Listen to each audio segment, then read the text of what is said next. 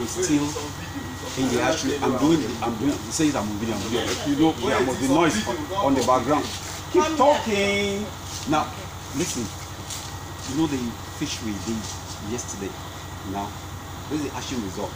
Now, they are amateurs and they're just started, but because they have good parent stock, 2.6, 2.8 kg, 2.6 kg, we're not expecting fish 45,000, 50,000 ash. And they got just three vats. I was talking about greed yesterday.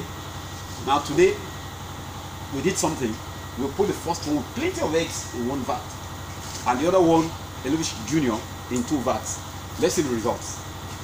Close. First of all, when we came in the morning, because we were crowding, for something, for one reason or the other, the fishes aren't moving.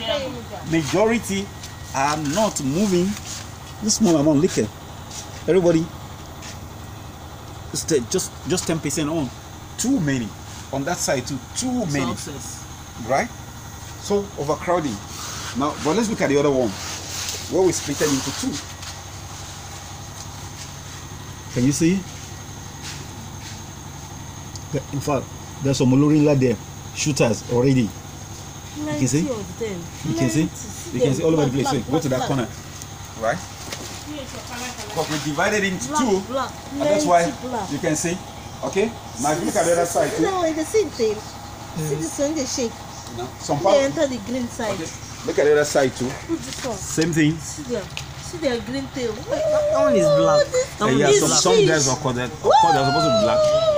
This one is black. Ah, there, there are more blacks. There are more blacks. They're all, they're, They they're, more blacks than you, green. will soon see, you will soon see a lot of, of, of- you're going to see a lot of blacks later on. Oh my now, God. survival rate here, it's almost about uh, 90% or 95%. But there, we got almost just about 2%. I, I'll say we're all doing that in that that regard, all because of greed. Now, the funny thing is that after the first set of ash, you know, you get a bit uh, greedy and you put them, let's just manage it in the pond here. Now, look at all the ones, the same population that was here, that was transferred here, we found out that they did well. They survived. You can see them moving. Yeah. You can see on, on this side, let me, let me, oh, say they are not having black self, but they're moving. All right, can you see that? Now, thing because they got they got space. The disadvantage of the pond here is that uh, we're going to have some difficulty trying to siphon and the rest later on. But it's okay. The generation there, the generation there that we lost, the ones that we thought were the slow, the slow arching, arching, arching group are the ones that survived because they have more space. So obviously space is a consideration anytime you want to do your spawning. That's the essence of this video. Make sure you have enough vats. It's obvious now for the fish we did that we, we just we, we we could have had about 10 vats spread into the vat. That's why I laugh when I see people buy small, small plastic buckets to spawn like see they're doing tilapia production. How many of the buckets are you going to use? It's still all, as far as concerned, kindergarten. And we need to go professional. So these folks started professional, but like I said earlier on, he said one small hatchery, but here is- he used giant prey stock.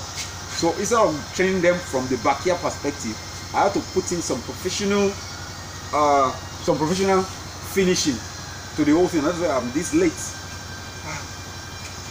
I'm going to get back to my hotel and prepare for Lagos tomorrow.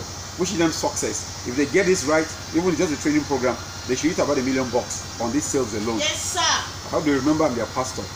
I remember to send the offering.